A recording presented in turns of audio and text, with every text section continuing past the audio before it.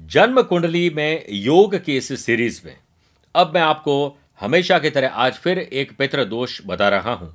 वक्त आ चुका है जब आप अपनी कुंडली या अपनों की कुंडली खोलकर देखें, ताकि ये जानकारी आपको मिल सके कि आपकी कुंडली में जो दोष है, कहीं वो पितृ दोष या श्रापित दोष तो नहीं बना रहे हैं।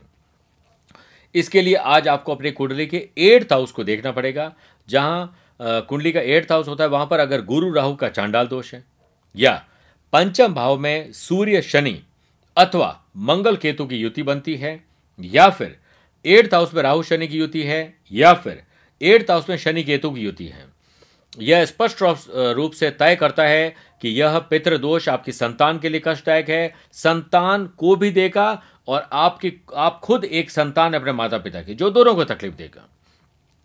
इसके लिए पितृदोष के जो मैंने उपाय बताए, वो तो करना ही चाहिए। साथ में नारायण बलि, नाग बलि और त्रिपंडी तीन पूजा करवाएँ और अपने रसोई घर में जल स्थान जहाँ से भोजन पकाने के लिए आप लेते हैं, वहाँ पर तेल का दीपक रोज शाम को पितरों के नाम से जलाने से भी बड़ा लाभ मिलता है।